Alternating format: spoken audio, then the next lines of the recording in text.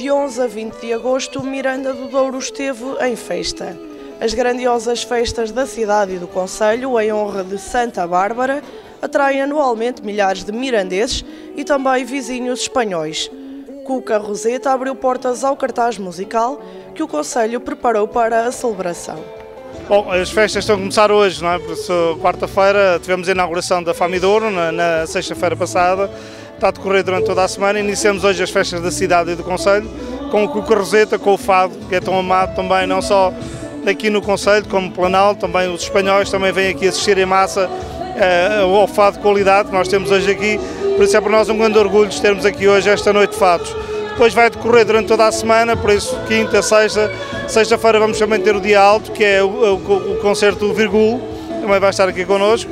E depois sábado também com, com uma série de atividades e no domingo, digamos, o arraial final e com, a, com o fogo de artifício, que é esse, digamos, o, as festas da cidade.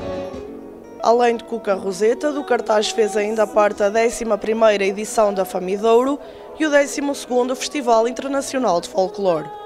No Largo do Castelo marcaram ainda presença nomes como o cantor Virgul. Durante o dia está a decorrer uh, a Famidor, não é? por isso a feira de, de, de artesanato, que decorre durante toda, toda a semana. Os politeiros também atuam durante todos os dias, a partir das 9 da noite. E depois durante o dia algumas animações também vão decorrendo durante, durante aqui o, o, o local da, da, presença da feira e, digamos, um conjunto de gente também se associa às festas e estas festividades. Por isso é um, é um dia, são quatro dias ou cinco dias de festa que temos grandiosas aqui no nosso Conselho em Miranda. Animação e convívio foram uma verdadeira constante nestes dias de festa que anualmente aquecem a cidade de Miranda do Douro.